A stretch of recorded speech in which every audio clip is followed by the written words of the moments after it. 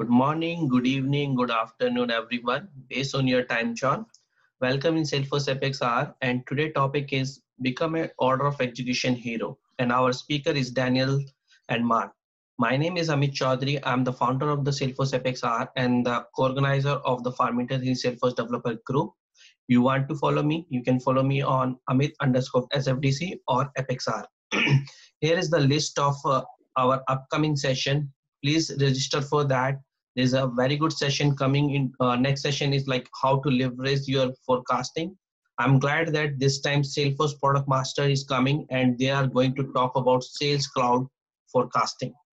I hope you never heard about their session so this will be really great. And there is a, other a great lineup line we have like integration pattern and microservice. So please rsvp for that. You will find all the detail from the apexhours.com slash session in 2020 and all session recording you can find from our YouTube channel.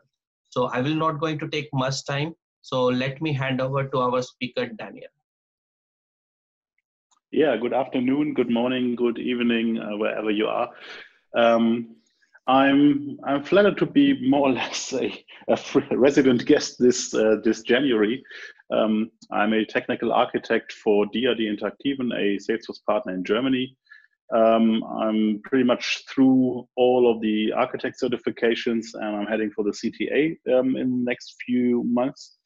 Um, I'm a leader of the Frankfurt user group, and um, if you want to connect with me, um, there's uh, my Twitter handle, hard to pronounce for, for everyone outside of Germany.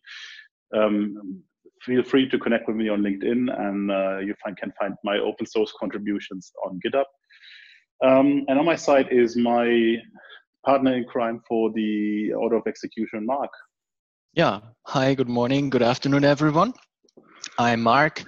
I am. Uh, I have six certifications, not even close to Daniel's twenty, but um, I work in the Salesforce ecosystem for ten years now, and I spent five years as sales engineer. Three years out of it working for Salesforce in Germany as a principal um, solution engineer and I started looking into the order of execution, into the details, the, the, the hidden secrets six years ago, and um, developed this over the years. And it was a, a great pleasure to have the presentation you're going to see today was the Dreamforce talk of Daniel and myself last year at Dreamforce. Daniel. Yeah, the, um, the, the fun story actually is um, I learned the order of execution through a slide that I could extract from Salesforce. And it was only after I met um, Mark um, that I learned that this slide was originally written and composed and uh, researched by him. Um, and to be honest, if you look at this question, the question, how deep is your knowledge of the order of execution? You might scratch your head and say, hmm, I principally know this, but well, it might just be average. And, but for sure, you have run into issues related to the order of execution, or might be guessing that it is related to the order of execution. And after all, you might have seen what kind of issues you can experience from the order of execution. We for sure did, and this is why we um, stuck our heads together and tried to discuss um, uh, discuss things. And one scenario that Mark brought was really weird. You want to tell what it was about? Yeah, sure. Um, I was the CTO of a Salesforce implementation partner in Munich, a boutique partner. And some of the colleagues came to me and say, we have a customer with an org and um, we're in development and we, we face strange problems.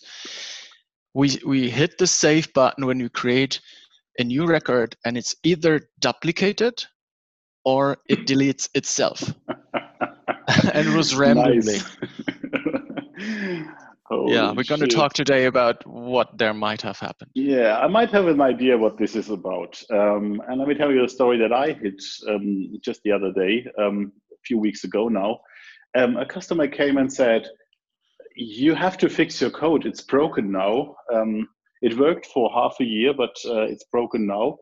Um, and here's the message. And the message was reading something like CPU time limit accepted uh, exceeded. And this actually rang a bell the um, it's a frequent story that you receive unexpected outcomes or that you hit limits that you didn't in, uh, even know that um, you, you're going to hit with just a few lines of code that you wrote. And this is typically somewhere in an area that we call the order of execution. But what exactly is this order of execution? oh, that's what we saw on Twitter, and it, it's often has to makes the gives the impression that it's going in circles, right? It's uh, and it goes in circles in very uh, weird and random ways. Um, so we actually had a good laugh when Daniel Peter found this guy from the uh, from the subway. You can probably relate to what's going on there. Yeah. Daniel, so yeah, you ask what is the order of execution. Let's start with a definition, since we're Germans, right? We love definitions. it's a set of rules that describe a path a record takes through all automations and the event that happened from save to commit. That is the official um, description. We're going to go through this um, in, in more details, but it's all about the automations. Um, and they obviously follow a path, right? So let's let's look into this and let us start with the official Salesforce oh. documentation. Oh. And yeah, you have 20 distinct steps. It's a lot of text. And um, I'm, I'm pretty sure some of you looked into that um, at some point in time before. And what most people then ignore or do not really spend a lot of time on it are the additional considerations. And that was actually was was was me, uh, which um, that was the point that got me started six years ago to looking into these considerations and to analyze and re-engineer what that actually means. And this is um, all about today. So let's let's let's consider what what uh, goes to our head when we hear the order of execution. We did an experiment. We just dumped all the text of um, that we just saw on the slides into one uh, one piece of software that creates a word cloud, and typically that's what people say when when you say, okay, that's order of execution. That's about validations, records, rules, triggers, workflow rules, process builder, record updates, etc. All of those things and that's um, um, and that's really a mess. Let's probably go and see if we can sketch this out um, in a more understandable way. So we we were trying to what we were trying to do is bring all of this what you saw on that one piece of paper or in this word cloud into an order because we said it's a path that the record takes. So let's imagine envision this as a path and you see you probably know all of the, the bullets here. Validations, triggers, blah, blah, blah. Um, it's all about that part. But that's still a lot of things to know and see and learn. But this is the full save cycle a record takes from loading and editing it to uh, being passed back in the database. But let's focus on the real important things where things actually can take a turn. And this is actually the triggers um, we highlighted before trigger here. It's the workflow actions and it's the processes and flows. Most of you already know that Process Builder actually is a, another user interface for the flow engine, and it is trigger flows that are triggered in a specific way. Let's say we focus on these three points. And if we dig deeper into that, um, these can actually change the record in the process is uh, in the path it takes to the database. And by changing it, they can define new paths that lead back to the beginning or back to the specific point in that, full save cycle. And that's still simplified, but you remember the, the key thing we're talking about today is that the record can take a path back. And this is where things start go in circles or start spinning.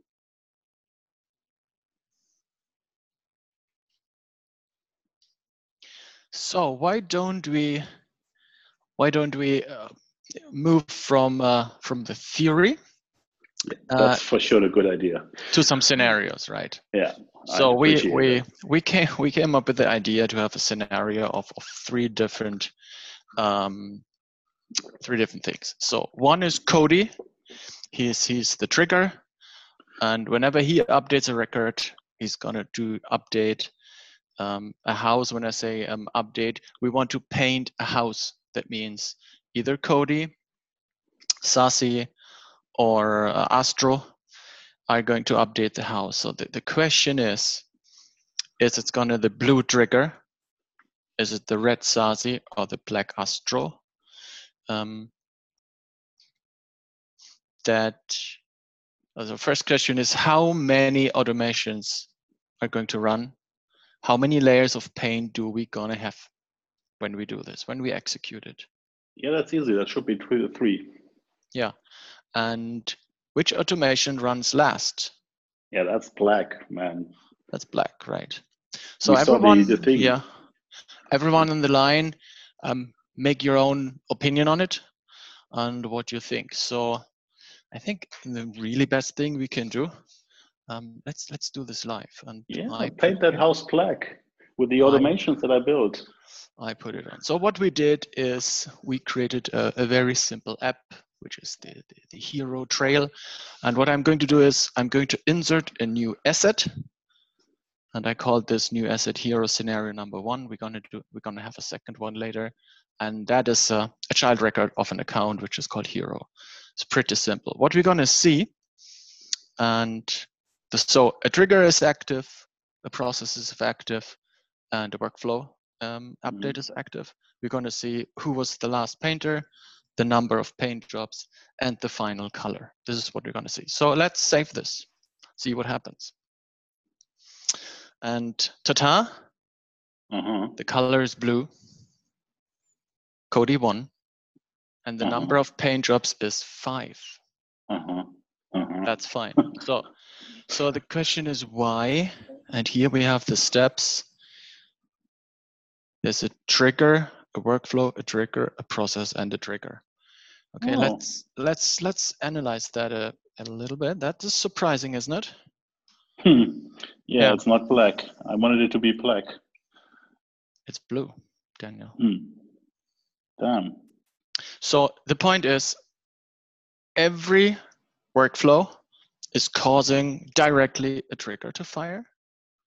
The trigger then fires the process, and also the process always fires a trigger. Hmm. That is the order of execution. That is one of these considerations that is hidden. So the answer is five, and this is what happens.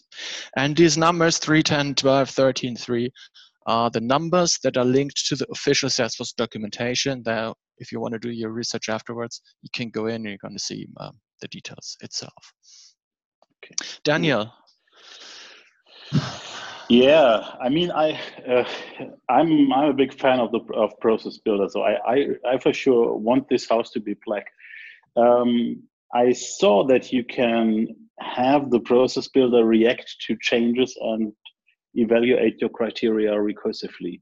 So why why shouldn't let, us let's do this. We we want the process builder to win.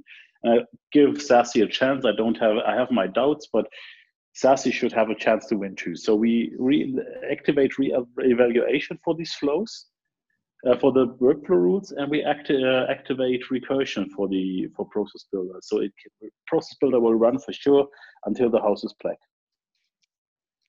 Sounds like so this is actually, idea. Yeah, if you don't know where this actually um, where this is actually um, switched on, um, you can go to the um, workflow field update and there's a little checkbox that you see there, uh, re-evaluate workflows uh, rules after field change. You can simply click the um, activate it there. Um, for process builder, it's a bit more um, hidden. You see the, uh, you can pull down the advanced section there and you can hit the checkbox. And there's a slight difference in the wording and we will refer to that later. But um, the one thing that I want to tell you just now is there's a bigger impact, and it is recursion called recursion for a purpose because it already says if you click on the help text that the same record will be re-evaluated for up to six times. So six times should actually be able to beat the trigger. I'm pretty sure, Mark. You're gonna test this out, right? We're gonna do. So the question again is, which automation ran last? Yeah, you're all on mute, but I want this to be black. Yeah. and how many automations are we going to have finally? it will be how more many, than five, I fear. how many layers? And we, we're going to tell oh. you it's 15. And yeah, I... it's still blue. So Codey wins again. 15. What a surprise. 15. So the question is, why? Mm-hmm. Why is it 15?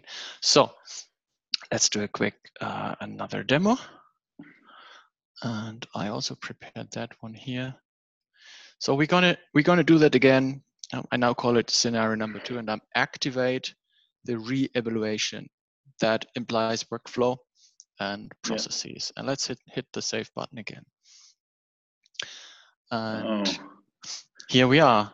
And we not I'm not really sure everyone can read it. So this is the order the detailed order down to yeah. 15. So there's one workflow and a lot of back and forth, back and forth, back and forth between black and blue. Yeah, wait a minute. There were just one left uh, red ones. Yeah. Look at that. Amazing. So what we see here, the workflow, even the checkbox is on for reevaluation fires once. And there's a mm-hmm. ping pong between trigger and processes for six times and then it ends. So after six, it ends. So that means we have in total eight triggers, the one workflow, six process builders, and that sums up to 15. So what is it we can learn here, or one of the first things that we as developers need to understand? Let's talk about workflow, only the workflow. The same workflow won't fire again after it has fired once. That's important to know. That's a big difference to processes.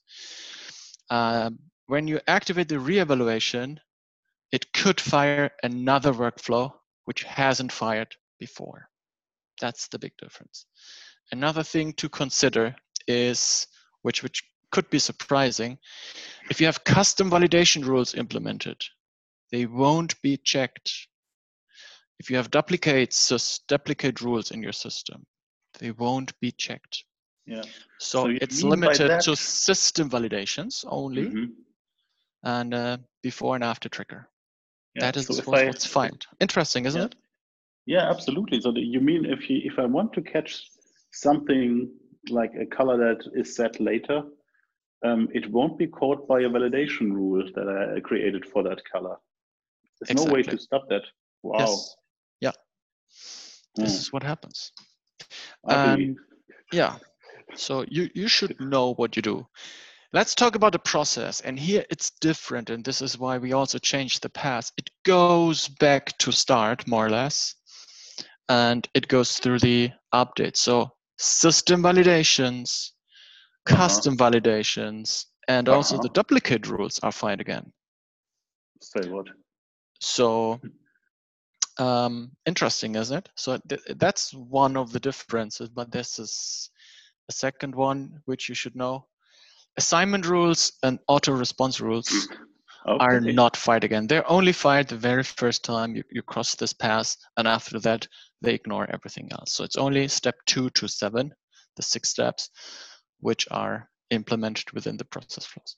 That means for you as a developer, if you start using the iterations, the recursions, know what you do, and you should have this under control to avoid a lot of execution runtimes, DML executions. We're going to talk about that later in our talk. Daniel, can it get any worse? Oh, uh, you bet it can. Um, there's a construct in the uh, in the programmers world that is called trigger old, and trigger old is by definition the um, the state of the record before the trigger was fired. Um, there's a lot of myth about the trigger old um, variable, and um, some people say it is not updated at all in a in a save cycle. So here's the question: Is it updated? And if so, how often? And the answer is most people probably don't know it. It's probably updated. Let's have a look here. We have that. Um, we have a counter on these uh, uh, on the record that we saved, and it counts the layers of paint. Um, to be fair, it counts how often this uh, the color changes, and you can see while it goes through that path, the counter is increased. After um, the, it ran through the first uh, trigger, it counts to one, then goes up to two, to three, to four, to five, etc., and so on. And this should be somehow reflected in trigger old if it changes. Yeah, let's have a look what happens to the uh, to trigger old. You can see after the first change that was um, uh, that was uh, done by a trigger, it is counted to one. That sounds familiar, right? Um, and then we go to the workflow rules, and it's, uh, it should be the, the variable is two, whereas trigger old remains at one. So process builder's turn, um, it is increased to three, and you heard that the save cycle is fired again by the process builder. So no wonder trigger old is set to three by that time. It goes it goes back and hits the I'm sorry, the blue one was a was the after trigger.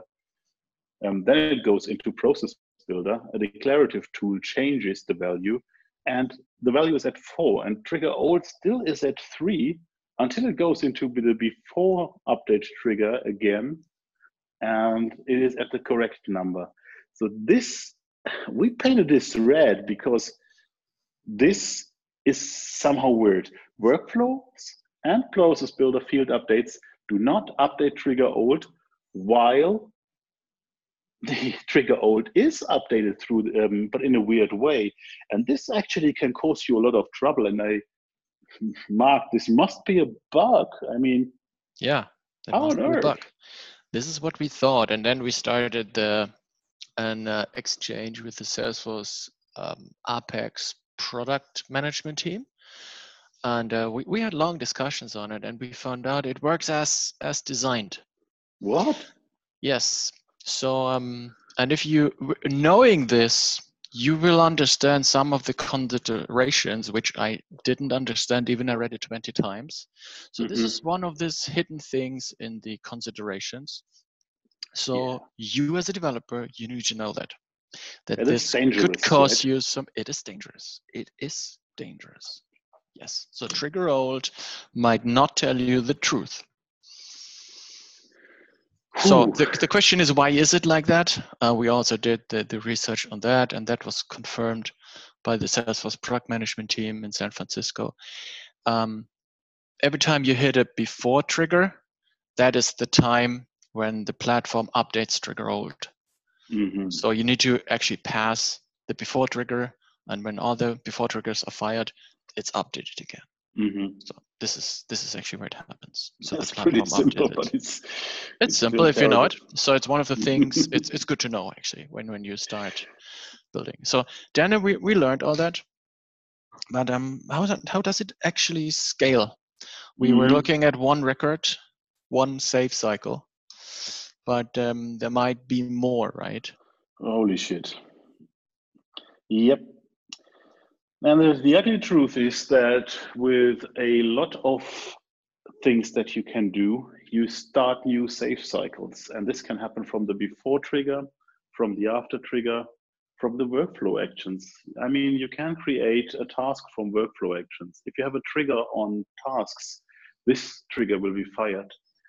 Processes and flows can update related records or unrelated records, whatever you design there.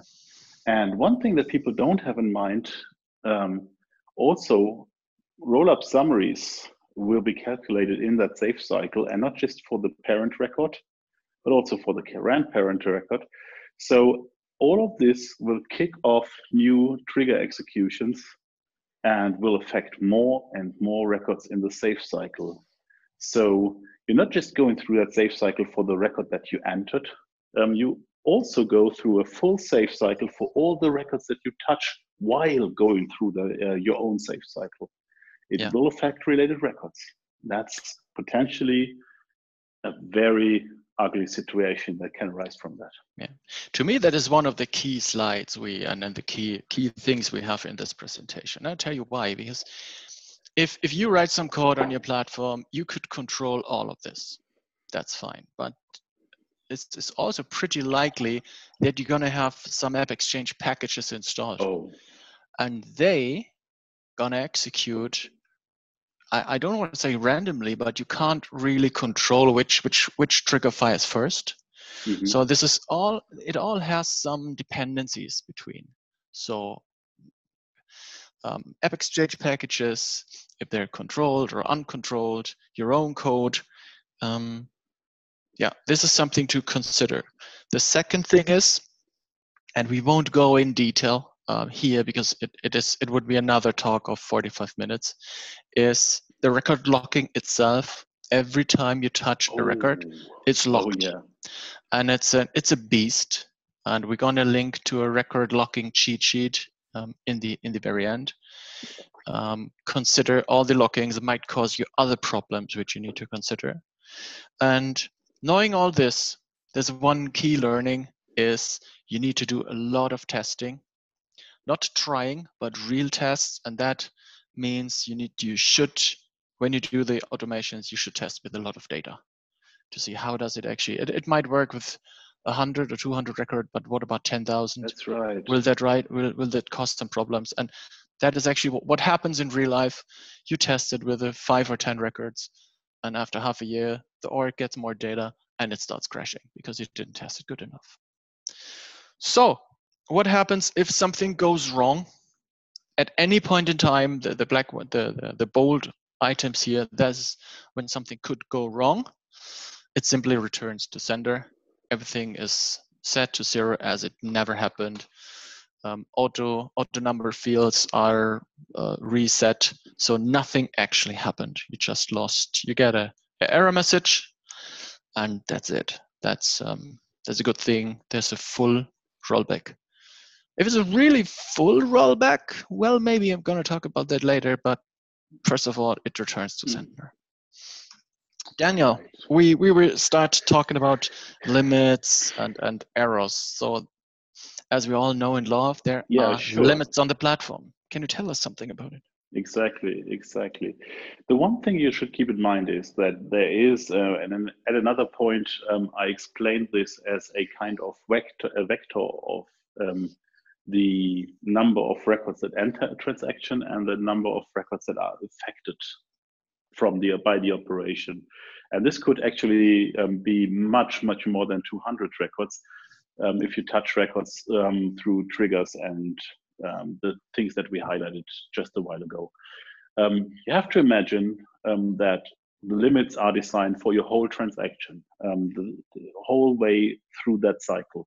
And the limits are designed um, quite generously if you calculate that for one record. Um, but they are really narrow if they are calculated for 200 records in that operation. Um, so that's a full execution context. And um, if you have to share this with, um, with, with managed packages, like as Mark said. So what you have to keep in mind is that um, CPU time limit um, is definitely has to stay under 10,000 milliseconds.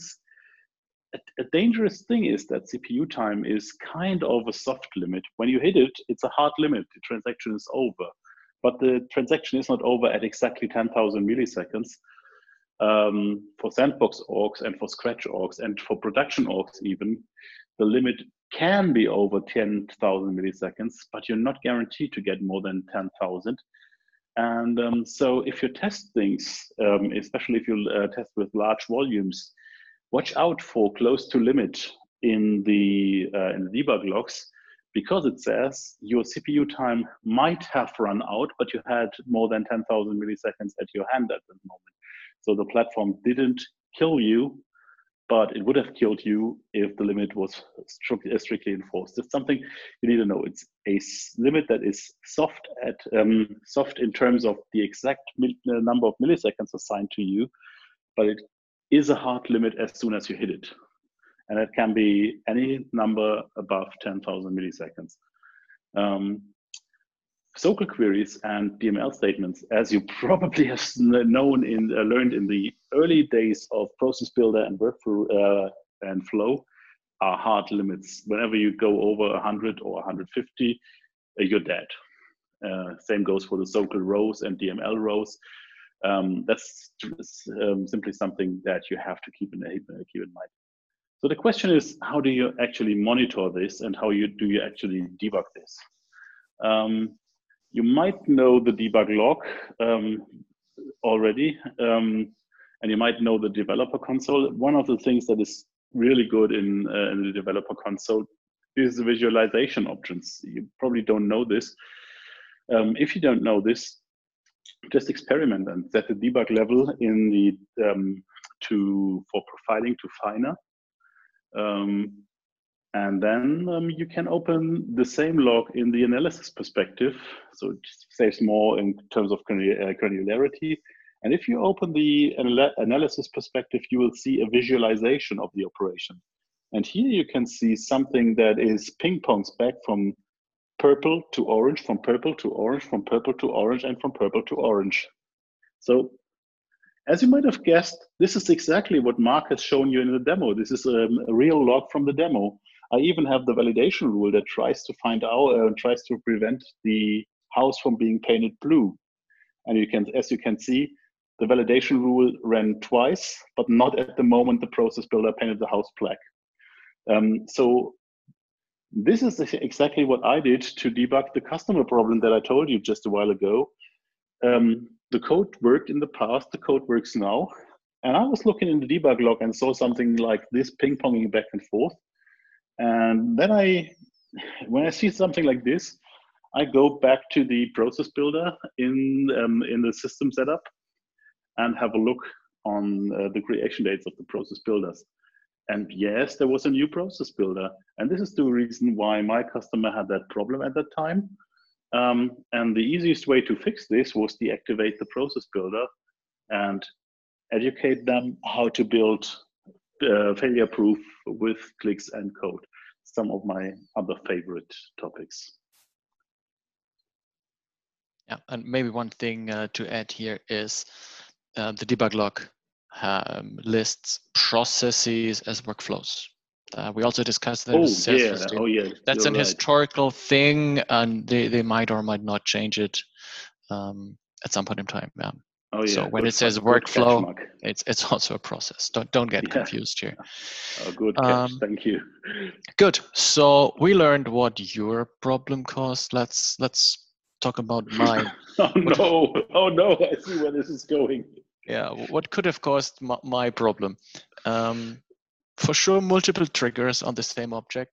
The, the team had six different triggers. And hmm. uh, several six. workflows. Yeah six processes. There were two processes oh, in it. um, they, they didn't build it straight into production but it's something we all have seen in the past. And um, additionally and that was one of the root cause analysis there were too many AppExchange packages installed with a similar functionality. And at, at, mm-hmm. one point in time, the, the custom code fired. Then next time, um, AppExchange package fired first. So that, that caused the problem. That was all not under control. After we did the research and we knew what we actually want to have, we were able to sort it out. But knowing about the automations on the platform, it took me 10 seconds to know where I have to look, which uh, probably saved me a few days. Mm-hmm. Good. So um, let's talk a moment for everything that happens after the commit logic happens. After the very last step, all oh, the records are committed to the database. It's all good. So what what is going mm. to happen actually then? Mm. And um, I'm not. Documentation says email. Well, it says email, yeah. For and uh, the documentation says um, there are more. more things happening. For example, emails. Uh-huh. So on this, for example, started me actually collecting what is is happening um, as well. So add future methods, okay, that's that's simple. We we most probably all know. Um, one thing I didn't know is asynchronous sharing rules. If you have more than, if you need a sharing rule for more than 25,000 records, which is a lot, it is calculated asynchronously. so oh. not in real time. It's interesting. It's also from a security yeah. point of view. Um, you should know. Mm-hmm. Um, outbound messages from the good old workflow days, they're fired afterwards. Um, all kind of indexes are calculated, such as the search index. So your record might not show up in the search immediately. This, that's the reason it's it's, uh, mm-hmm. uh, it's asynchronous. All previews uh, when you do um, um, chatter previews, they are mm-hmm. calculated. And then I teasered the, the rollback things. If you fire an event which um, during the execution, um, if, if one of the triggers fire an event, the event is gone. Mm-hmm. So if you build an integration with real-time events, which are fired by by Apex code, the event is gone. So you should so, really know what you're doing. So this is what the new switch on platform events is about. It fires either after the commit or immediately in the transaction. And whenever something fails in the transaction, it's gone, you're saying. It's fired. Yeah. Wow. Yeah. So that's that's really something you have an eye shouldn't have an eye on when you configure platform events. Should this event be fired after everything finished or should it be fired immediately? Yes, exactly. Ooh. Yes, something That's... you should know what you're doing, um, as always. Mm-hmm. So, what what are the lessons learned? Let's let's summarize actually what what our learnings were. Um, our recommendation is check the official Salesforce documentation with every mm-hmm. release, with each release, and understand the fine print, um, the consideration. The rule of thumb: if you build something, one trigger and one process per object if you can avoid workflows, uh, our recommendation is to not use workflows anymore. Go with one trigger and one process in it. Why is it? Because you can control what's actually happening mm-hmm.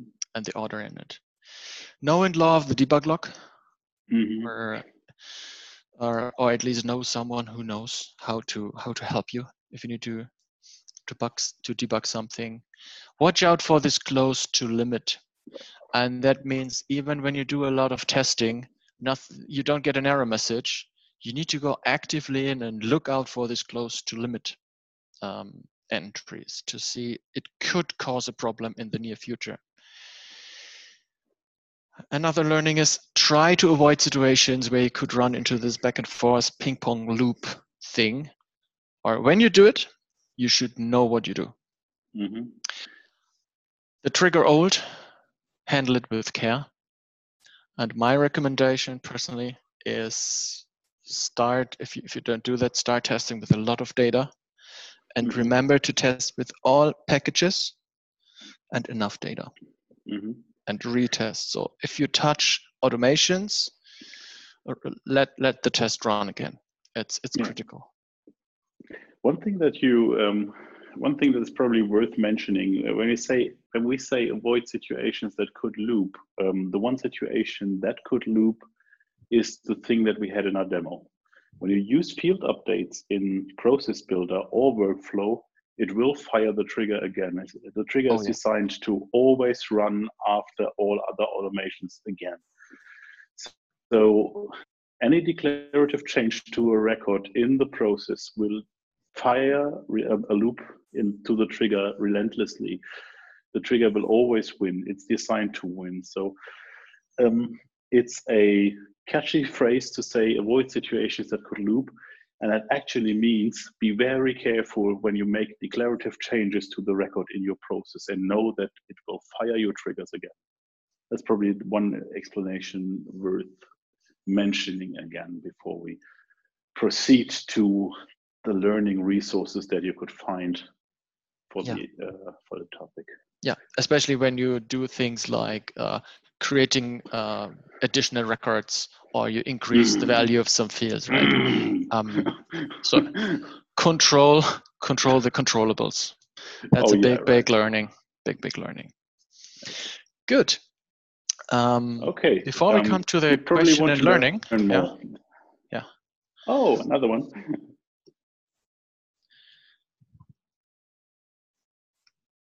I thought you were mentioning uh, you were about to mention something else. No, so no, go ahead. That was actually the handover to the resources before we oh, do wow. the Q and A session. Yeah, yeah, sure. so you, you, probably want to um, want to look deeper into the topic and the disappointing thing in um, um, the disappointing thing is that there is no such no immediate um, Trailhead module to learn about that. Um, you should definitely try your luck for yourself um, with the official developer documentation.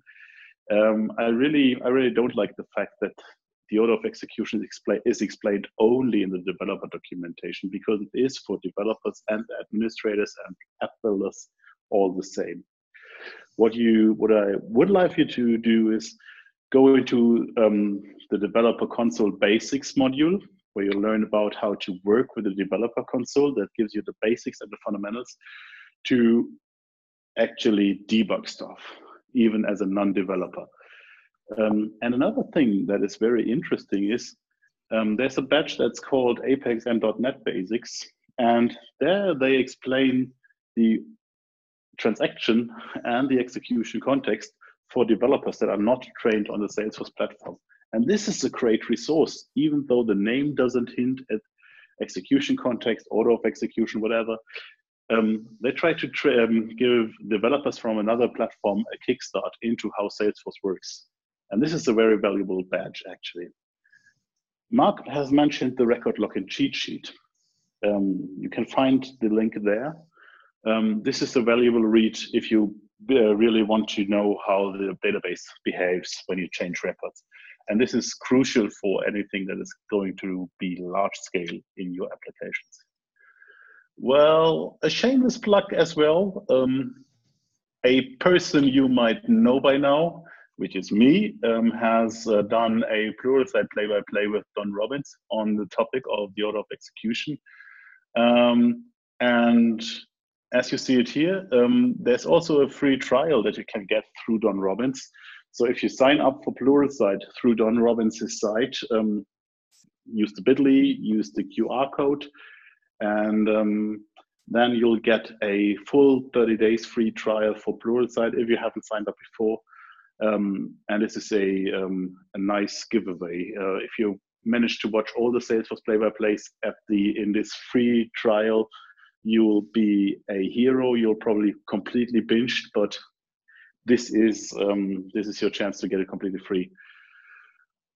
Um, yes, and that's probably it. Next time it spins in circles, you probably know why, and you probably know how to start fixing that.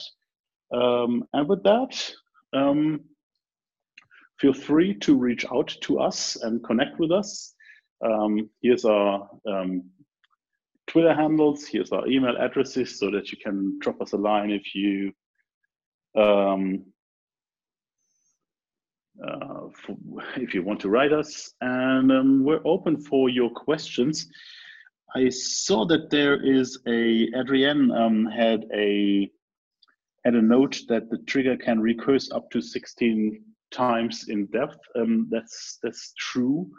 Um, one comment here, um, the, the 16 is actually also the execution depth of the, the trigger.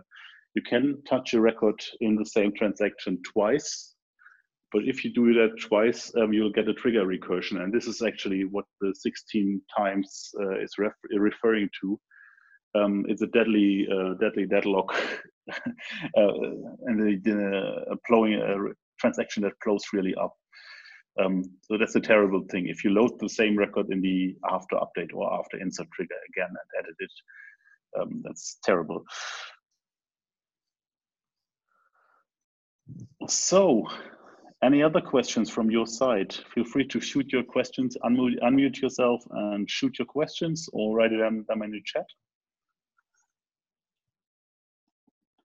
There's a big one. Um, so the um, the first que uh, one question here is um, in a demo we have had a recursive flag on the uh, on the asset record. But yeah, that's um, I'm glad you noticed this because it's a detail. Um, what I did is um, build a criteria in um, in the process and the workflow rules, and we can probably show the configuration of the of the process Um, the um, I pre-built two processes, and um, it first re-evaluated is this checkbox set, and it gated the the whole process to the one path or the other path. It's a it's a tiny trick to make it um, easy to handle the situation in a demo. Yeah, it's it's it's a it's a demo setup. Yeah. Um, the the second question is what is the criteria based on which we decide if a workflow or process has a re-evaluate flag checked? Um, the um,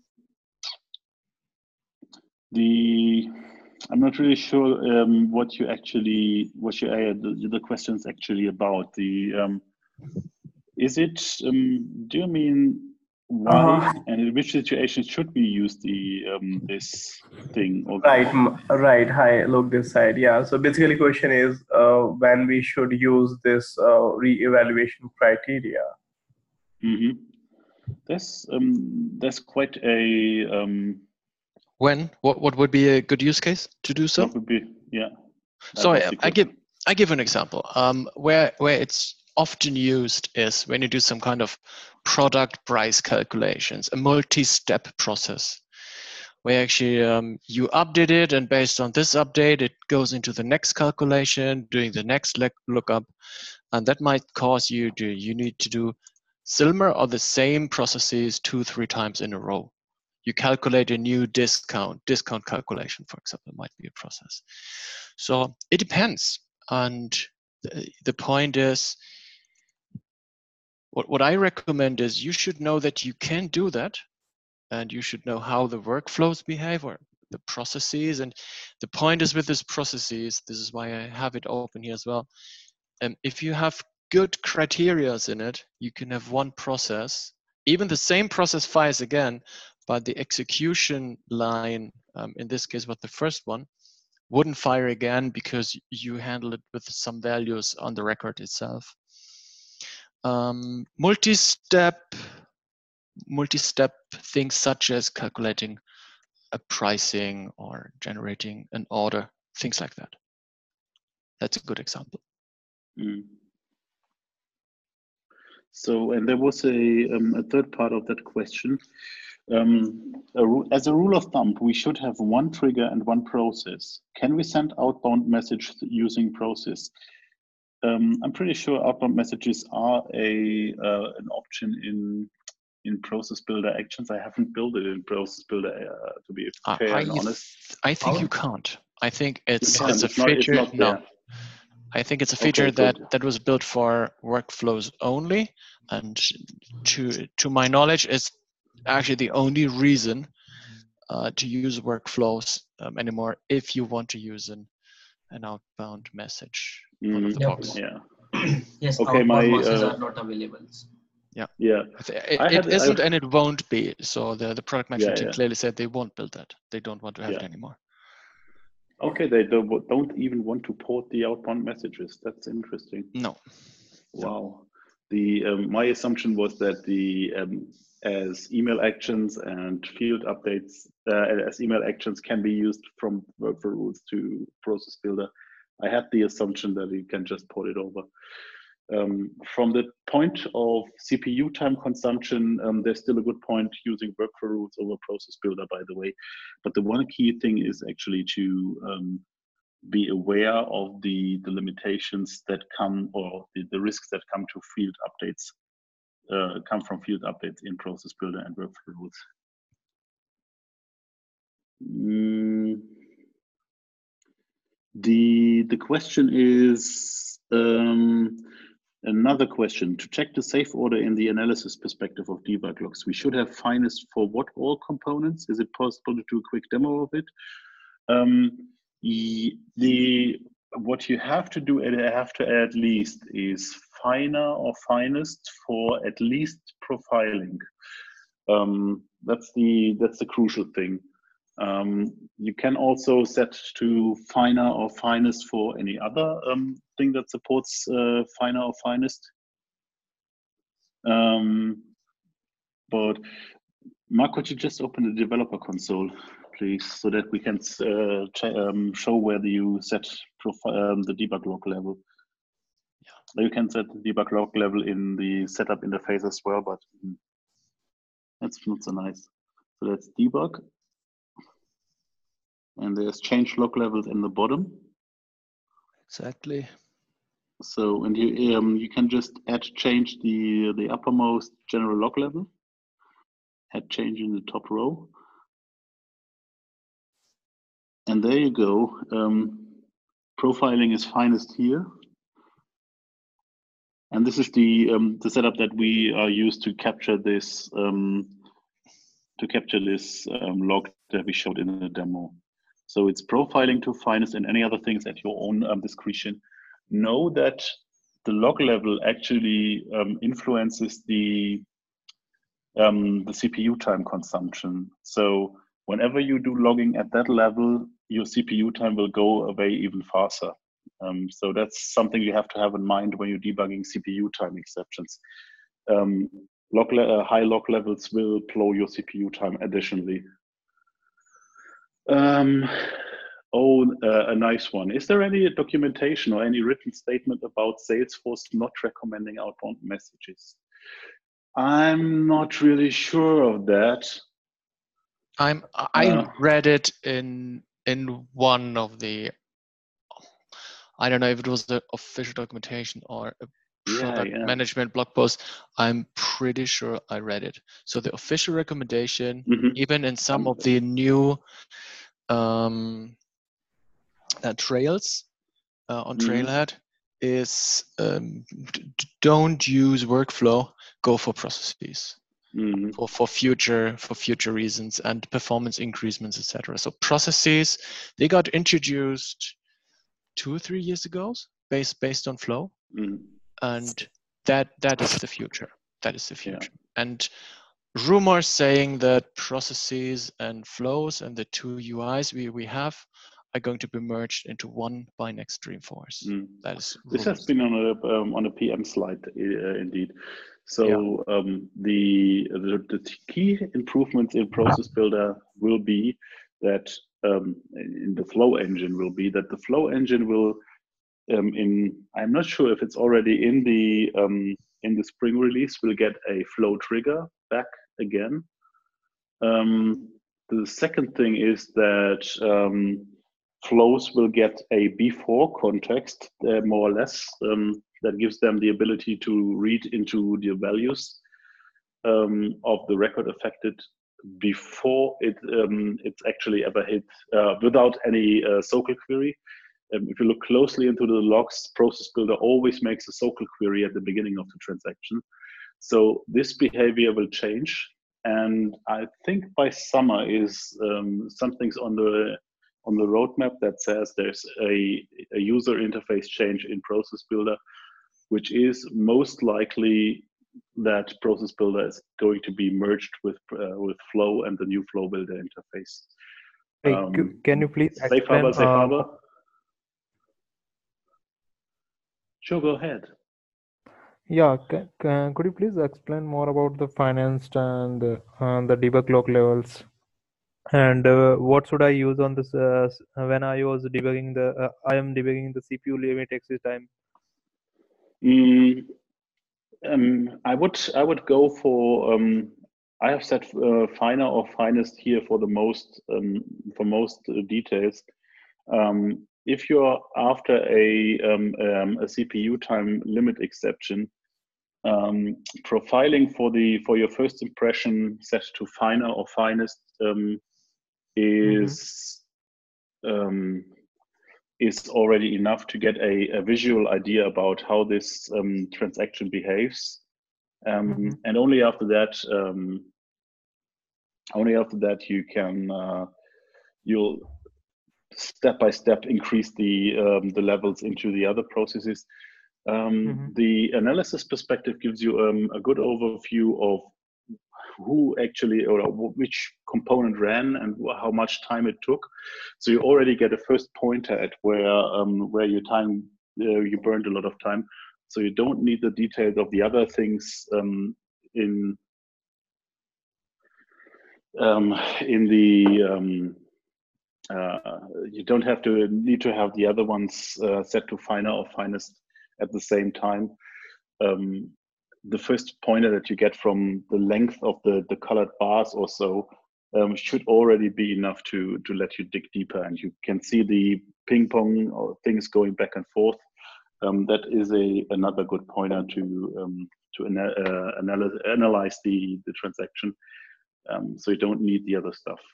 Um, so in that very specific scenario, if you want to find out where your um, CPU time goes, uh, profiling to finer or finest is already enough to to get a very good impression on what's going on. Okay. On top of it, like uh, Daniel, I also want to add one more point here, so which I always love. So in this kind of scenario, like there is also one one good scenario in the order of execution. Like I I will love like who will answer that question. So just assume in my project, uh, one of the developer create one validation rule on opportunity, saying that opportunity amount should not be greater than ten thousand. Mm-hmm. Okay, so this is one developer did, and top of it, I have another developer who created a time dependent workflow. It's a time dependent workflow. Which should execute one day before the opportunity close date and which is somehow doing some calculation and do the field update updating the opportunity as 20000 so on the one side i have a validation rule which is saying don't update more than 10 don't allow more than 10000 on top of it. Another field update which is asking like which is updating a field more than 20000 so my question is that what will be happening in this case? What will be fire? It won't fire. You will run into an error so what uh, so what will be fire? So um, it, it will fire but it will produce an error. No. The time dependent one. It's going to fire. So, so that's the interesting one. So that's the interesting thing here your validation rule will be not fire. Your workflow will be fire and will update the amount as 20,000. There is a glitch. So because once your field update fire, your validation rule will be not fire again. But if it is not a time dependent, it's a normal one. Your workflow or work uh, field update will be fire. The validation will be fire. But in the terms of validation, uh, in the terms of time dependent, your validation rule will be not fire and your amount will be updated. Yeah. It's a good thing. I will suggest everyone try in your personal log and play with this. So it's a great thing to learn. Yeah, you say a field, a, a time-dependent field update doesn't fire the validation rule, even though it uh, is the first pass to that record. Yes. You're, you're right. The yeah, right. Mm-hmm. Because if you go to the uh, mm-hmm. uh, same uh, order of execution, it's talk about exactly you don't go that path and, yeah. and um, this is um, really interesting interview question like i mostly ask to any admin so yep so it's a good thing and i will suggest like play around it. So there's a lots of thing to learn about it. Mm-hmm. absolutely. That's a cool one. I didn't didn't really um, get at that. Um, there, there's a question that was um, the how do you actually use one process per object? I have multiple uh, multiple ifs that would be satisfied and need the subsequent uh, actions executed. Well, this is a um, this is a thing really about best practices, uh, best practice and best practice exceptions, more or less. Um, you what you can do is um, let the the rule of thumb is um, you just go to the first node that you um, that matches your criteria, go to the right hand side all through the process builder, and then you can decide should it re, uh, also evaluate the following nodes again. So this is probably um, this is possible, but um, if you do all the ifs in your um, in your process builder, the process builder will get more like a wallpaper or um, a, um, a map of the uh, road that you take from probably Berlin to uh, Beijing or so. Um, so it's it's probably something where you have to pl- apply some some good um, some good balance between creating another process um, in case you, re it's really so complicated that you need to have one uh, uh, one more. Um, probably you can go one process per um, per domain or purpose uh, within that object, but it's actually the, the trouble spot is you don't know which of the processes runs first. They will run in a specific order, but um, you can't say that it's the same in another org as well. So really, um, that's a dangerous condition, and they shouldn't rely on each other. If you know what you do, everything more or less is fine until you run into the situations that Mark has pointed out. So be be very careful what you put in these processes if you create more than one. Um, and another question was process builder can create an event really um, is that um, is that event you're talking about is that a an event in terms of the the standard object event or is it a platform event so the question is can the um, can process builder update the event record as well um, if you're talking about the standard object event um, pro, um, there will be a full save cycle, so you will enter the process builder on the event record as well. If you're talking about a platform event as a technical um, concept, platform events by definition cannot be updated. So they only have the, um, they only can be inserted into a message queue. And the whole concept about a message is that it cannot be updated in the process. So the question Adrian uh, answered process builder can update events. That's true for the standard object. It is not true for platform events. Platform events, by uh, definition, cannot be updated. Um, and that's probably all for the questions. If any uh, questions are left, raise your voice now because um, Amit will close the recording very soon. Uh, so there's another one in the chat. Um,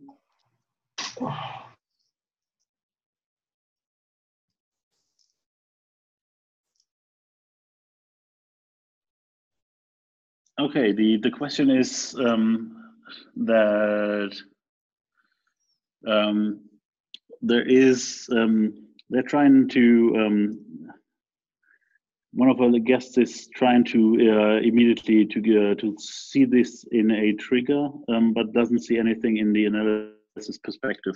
It just says SObject undefined. Um, am I missing something?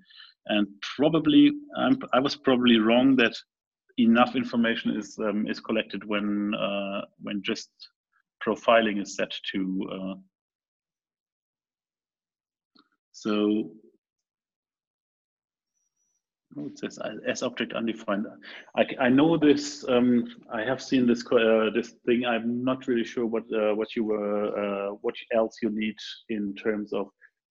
It's probably database uh, that you need um, additionally or workflow to see the event. Um, probably try uh, try Finer uh, on database um, workflows and Apex um, that might give you the the information that you um, that you need there. It's, a bit hard for me to um, to give the um, authoritative uh, explanation without actually doing uh, running this all the time. Um, but if you use the see the, the thing that I said uh, said there is the database Apex code workflow and profiling um, for this configuration, you definitely get enough data. And thank you, Dan, and thank you, uh, Daniel and Mark, for the great session. And uh, I also uh, thanks to everyone who all join on the weekends. So it's a uh, order of execution is always a learning point. Doesn't matter you are beginner, experience, and all. So we learn lots of new things uh, and the, i really love the uh, presentation way like how you put uh, this complex topic into the presentation way to explain it in a very simple way so thank you so much for that and thank you mark thank you daniel thank you for having us. Yeah. It was good fun